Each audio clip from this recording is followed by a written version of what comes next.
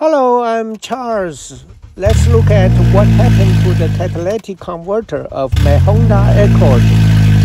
I started my car and suddenly there was a very loud noise.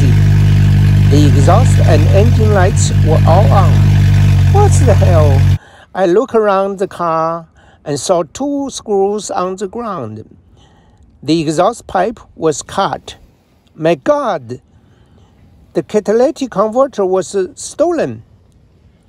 I just parked my car in front of my garage. The catalytic converter was stolen.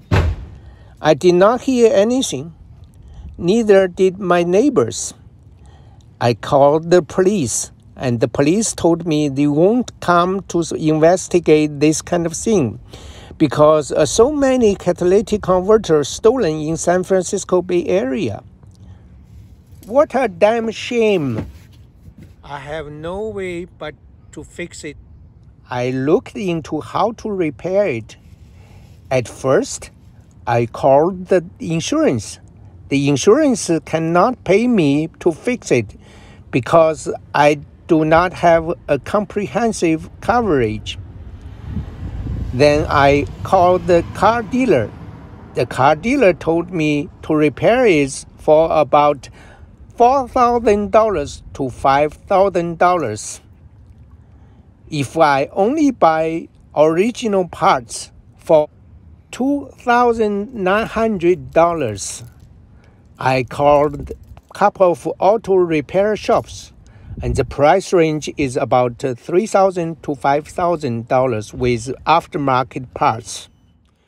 The reason why it is so expensive is there are not many parts meet the California emission standard, the highest standard in the world.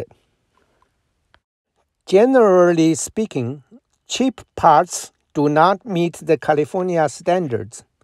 Therefore, the alternative parts are extremely limited and expensive.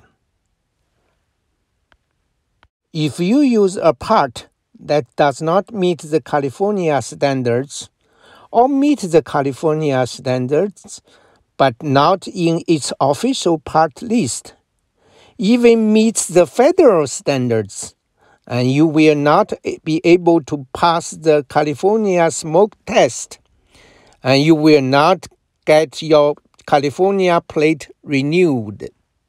A lot of hassle, isn't it? Let me share with you what I did to find the aftermarket parts, where to buy, installation, and finally pass the smoke test. First of all, you need to know the engine family number your car belongs to. Open the hood. The EFN engine family number is located under the hood on the vehicle emissions control information label. It displays engine family number and ARB, Air Resources Board. EFN for this car is 5HNXV02.4ECV. The ARB is SULEV. Based on the EFN and ARB, you can find the part number from California Vehicle website. Go to Ask the Ref, A-S-K-T-H-E-R-E-F dot org. Then job list, select stolen catalytic converters. Then go to the EFN section. The ARB is SULEV the EFN ending with 4ECV. Then you can find the what part is in this list.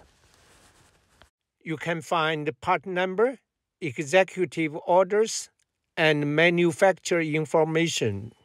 Even more information about installation like direct fit means uh, you do not need weld together. You just need to bolt on in this website and you can also find uh, where to make appointment with the referee to verify your installation. After you install your aftermarket parts, and you need to call this number and to make appointment with the referee for verification.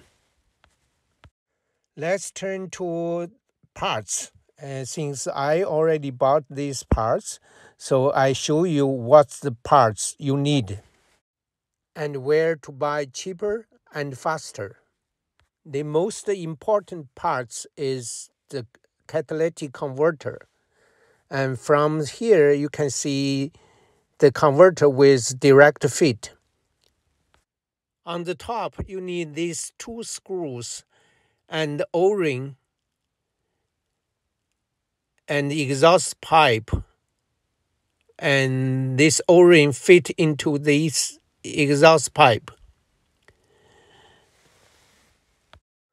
Then along the y exhaust pipe and you go to the flexible point. In this pipe there is a hole and we need O2 sensor. So this is uh, called uh, upstream O2 sensor.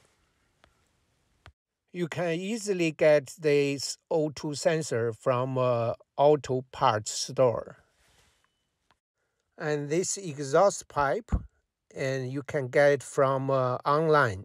It's cheaper and faster. This is uh, the flexible point and the hanger and the hanger is to uh, hold the flexible pipe. This exhaust pipe is flexible direct fit. You just uh, bolt onto together and uh, this is the gasket between pipes. The most important and expensive part is this catalytic converter and this is a direct fit. And you can see part number and executive orders. The part number is 82895. The EO number is D18284. The part number is from uh, the official listing asktheref.org and it is a direct fit. Just bolt them together. And this catalytic converter also has a hole to hold the O2 sensor, downstream O2 sensor. Downstream O2 sensor. Since the catalytic converter uses a high, very high temperature and to burn the exhaust air, so the O2 sensor is generally is bigger and larger. You also need a second uh, gasket between cat and resonator. The resonator is a direct fit. If not, you have to cut and weld them together. And direct fit is much easier. You just bolt them together. Use bolt. I can cut here and bolt them together and using the existing resonator.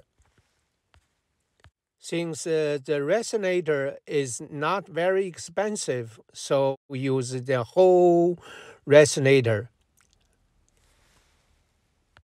and connect the muffler with the resonator at the end.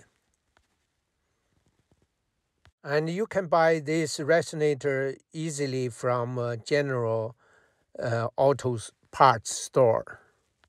That is all the parts you need for your project. And the most important and difficult one is about the catalytic converter. That's very expensive. Most of stores uh, don't have this uh, catalytic converter. So mm, sometimes you need to talk to them and let them to find for you and that's what i did and i'm i got this uh, catalytic converter from Napa Auto Parts. It did not have stock, but I talked to the manager, let him to find for me, and uh, actually, he got this uh, catalytic converter from a store in Ohio.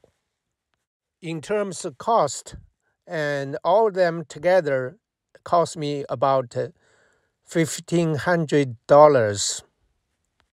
It is not difficult to assemble them together and you can see O2 sensor, downstream O2 sensor, and you have to connect through a hole under the uh, front passenger seat. And then hanger them together. Also the back hanger.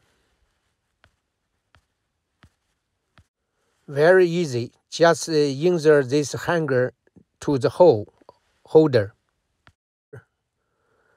And also the front upstream O2 sensor. The rest are both on together. To install O2 sensors, you can borrow a tool from uh, a auto parts store and it's free and use these tools and to install and screw on the O2 sensors. That is all for this video. In my next video, I will show you how to install in detail. Please stay tuned.